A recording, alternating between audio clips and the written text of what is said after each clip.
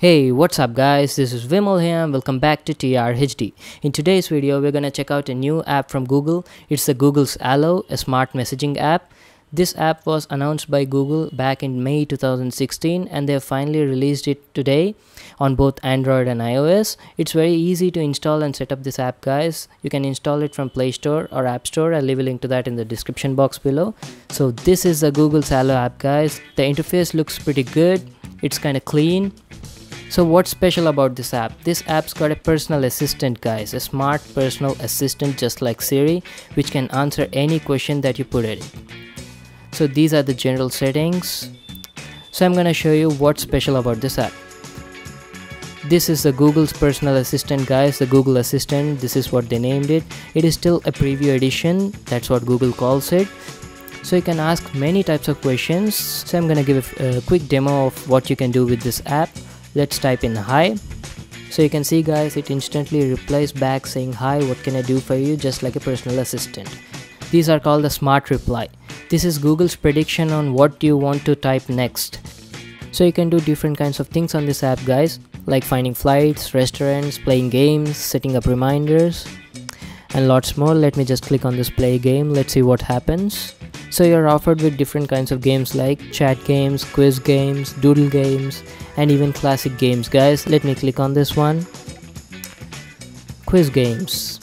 Oh, you're also offered different kinds of subjects. Let me click on the entertainment section. So this is how the interface looks like guys. You can play games like this. It, uh, it even offers different difficulty levels. That's really nice. It's really fun to use this app. You're actually playing a game with a smart robot that's sitting at Google's server. it's really interesting. So let's go back and see what else you can do on this app. You can even give a thumbs up or thumbs down to show what you like so that Google will give you personalized suggestions. Let's see what else you can ask. I want pizza. Let me type in pizza. Let's see what it replies. Oh, it's showing the different pizza stores around me you can even filter these suggestions. Just uh, click on this suggestion smart replies or below it. Let me click on the top rated. Let's ask something else. Give directions to Himayat Nagar.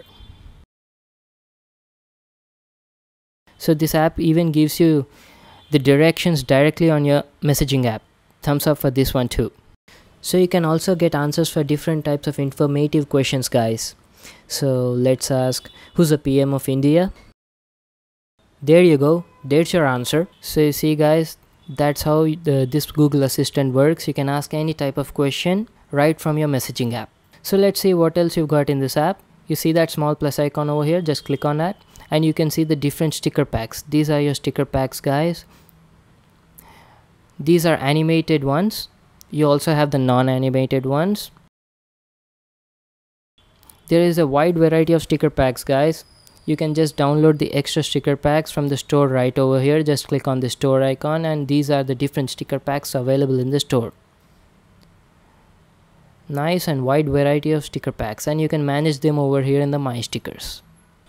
So you can ask questions related to pictures also. You can directly send a picture to the google's assistant and you can get information related to that. That's really nice.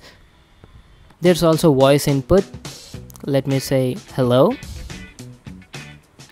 So you see Google Assistant even replies like this. There's no voice feedback on this app. It would be really nice if it could give voice feedback. I hope Google will include that in the coming updates.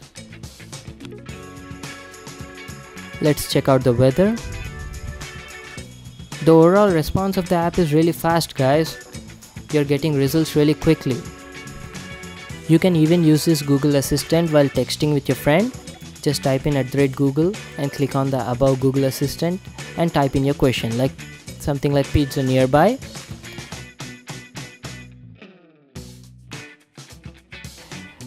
Then both you and your friend both can see the suggestions. You don't need to go to the browser or the Google app to search for anything. You can just directly search things right over here. I really like this feature a lot. It's really useful. there's also an incognito mode guys. Basically all the messages are stored on the google server in the general chat and if you don't want that to happen then you can directly set up an incognito mode from over here and all the messages will be end-to-end -end encrypted. So the highlights of this app are google's assistant integration smart reply and incognito mode you can express yourself with photos, GIFs, emojis, and stickers. You can even make emojis and text larger or smaller in size just by dragging the send button up or down. You can even scribble on the photos before sending them. So I hope you do try out this app guys, it's really fun. If you have anything to say, just leave a comment down below. Hit the thumbs up button and subscribe to my channel for more new awesome videos.